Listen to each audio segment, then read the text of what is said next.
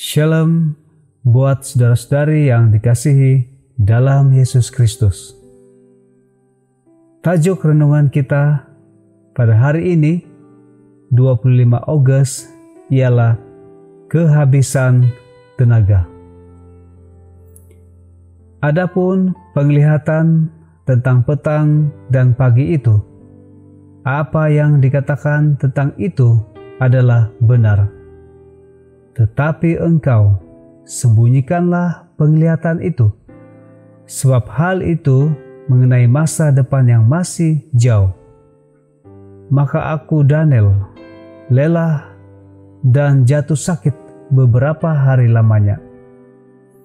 Kemudian bangunlah aku dan melakukan pula urusan raja. Dan aku tercengang-cengang tentang penglihatan itu tetapi tidak memahaminya. Daniel 8 ayat 26 dan 27. Walaupun Daniel merupakan salah seorang daripada manusia yang paling bijak dan paling suci yang pernah hidup di dunia, namun kadang-kadang dia kehabisan tenaga.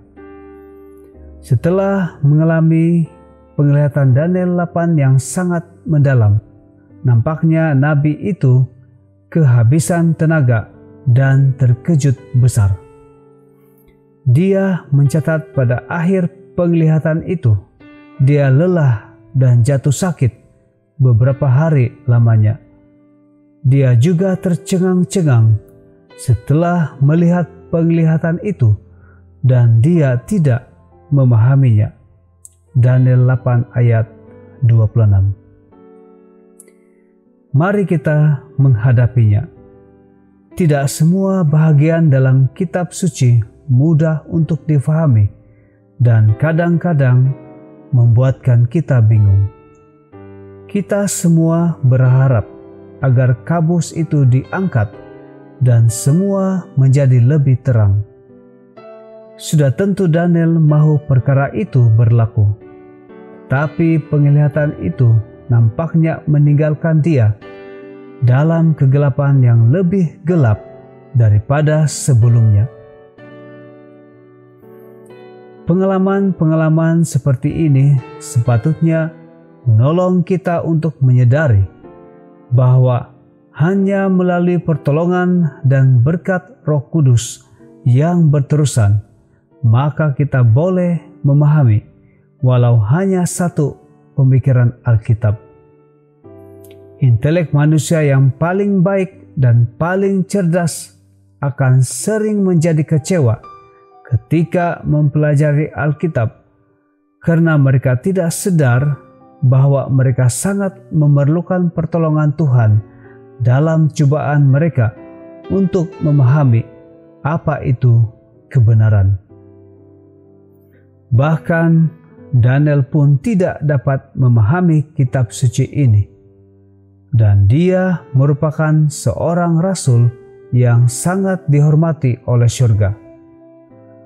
Oleh itu, marilah kita jangan bersikap bersahaja atau memandai-mandai apabila kita membuka firman Tuhan.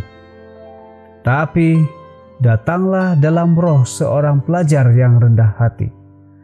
Seperti Salomo dalam doanya yang rendah hati ketika mendedikasikan bait suci.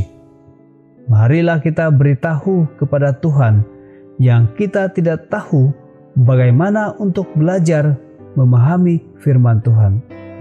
Maka kita akan mampu diajar olehnya yang mengetahui semua jawaban kepada semua misteri.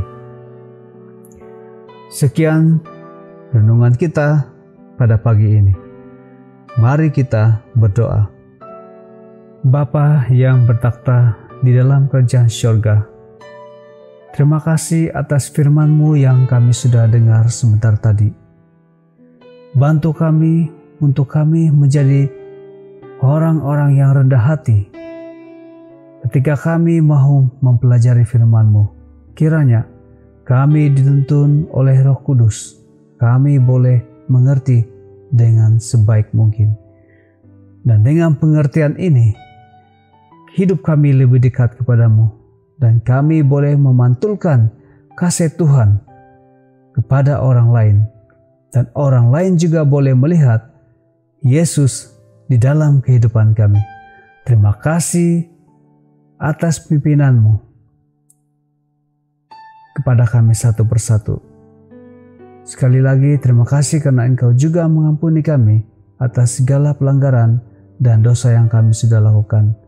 Terimalah kami sebagai anak-anakmu. Dan saat ini kami persembahkan doa ini di dalam tangan dan nama Tuhan Yesus yang berkuasa. Kami mengucapkan syukur dan berdoa. Amin.